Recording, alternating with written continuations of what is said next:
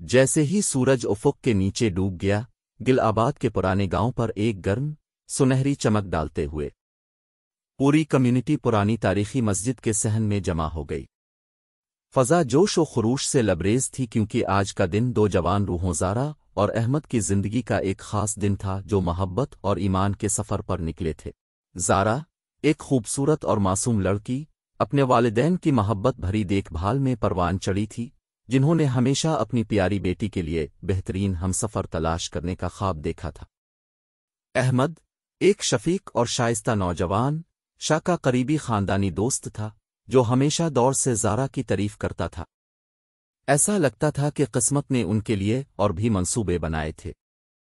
उनकी कहानी कई साल पहले शुरू हुई जब वो बच्चे थे।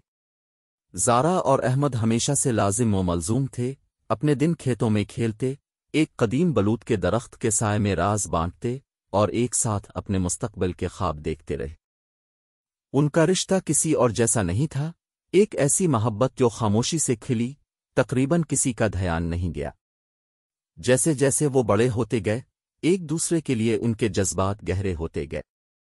उन्होंने एक दूसरे की सोहबत में सुकून पाया और उनकी मोहब्बत हर गुजरते दिन के साथ मज़बूत होती गई। फिर भी उन्होंने अपने जज्बात को हर किसी से पोशीदा रखा, अपने खानदानों की नापसंदीदगी के डर से, जिनके अपने मुस्तकबिल के लिए मुख्तलिफ़ मंसूबे थे। लेकिन किस्मत ने मुदाखलत की और उन्हें इस अहम दिन तक पहुँचा दिया।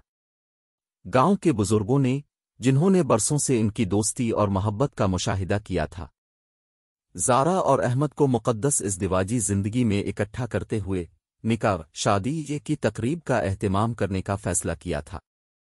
ये नौजवान जोड़े के लिए एक ख्वाब पूरा हुआ और वो मोहब्बत और ईमान से लबरेज दिलों के साथ इमाम के सामने खड़े हुए। इमाम ने अपनी नर्म मुस्कराहट के साथ शादी की मुकद्दस नज़र सुनाई और जारा और अहमद ने इसके बाद दोहराया। उन्होंने अंगूठियों का तबादला किया और एक दूसरे की आँखों में देखा, उनकी मोहब्बत और अज़म चमक रहा था। मौसीकी, रक्स और बादशाह के लिए एक दावत के साथ गाँव खुशी के जश्न से गूंज उठा। जैसे जैसे रात ढल रही थी। जारा और अहमद ने इसी बलूत के दरख्त के नीचे अकेले एक लम्हा चराया जहाँ उन्होंने अपने बचपन के ख्वाब देखे थे। उन्होंने हाथ पकड़कर ऊपर सितारों की तरफ़ देखा, ये जानते हुए कि उनकी मोहब्बत तमाम मुश्किलात के खिलाफ जीत गई है। जारा ने आहिस्ता से सरगोशी की, अहमद, ये वो ख्वाब है जो मैंने कभी नहीं सोचा था कि पूरा होगा। मैं तुमसे इससे ज़्यादा प्यार करती हूँ, जिसका इजहार अल्फाज से नहीं हो सकता। अहमद मुस्कुराया उसकी आँखें जज्बात से भर गईं।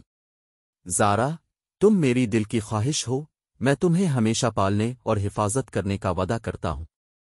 उनकी मोहब्बत की कहानी, मसूमियत, ईमान और गैर मुतजलजल अज़म से भरी हुई, पूरे दायरे में आ चुकी थी। तकल्बदार इश्क, मोहब्बत का रूलर कोस्टर अपनी आखिरी मंजिल पर पहुँच चुका था। जहाँ दो दिल एक हो गए थे। और यूँ गिलाबाद के खामोश गाँव में, चाँद और सितारों की निगाहों में, जारा और अहमद की मोहब्बत की कहानी जारी थी। जब वो एक साथ, हाथ में हाथ मिलाकर, हमेशा के लिए शादी और मोहब्बत के मुकद्दस बंधन में बंधे हुए एक नए सफ़र पर रवाना हुए।